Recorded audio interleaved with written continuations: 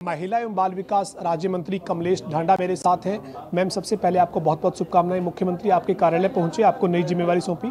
मुख्यमंत्री और सरकार के और संगठन के फैसले को कमलेश ढांडा कैसी देखती हैं? देखिए, सबसे पहले तो मैं मुख्यमंत्री जी का बहुत ही आभार प्रकट करती हूँ। वे मुझे यहाँ इस लायक समझा और हमारे संगठन का, उनका मैं आभार प्रकट करती हूँ।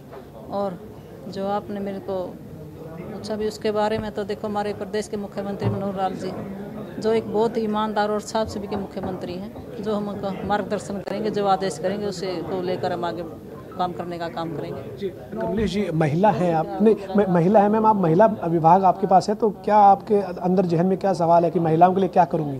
देखियो जैसे हमें आदेश मिलते रहेंगे मुख्यमंत्री जी के उसी के आधार पर हम महिलाओं के लिए हमारे मुख्यमंत्री जी ज़्यादा से ज़्यादा अच्छा से अच्छा काम करने का काम करेंगे। बेटी बचाओ बेटी पढ़ाओ को आगे लेकर जाएँगे अब आप?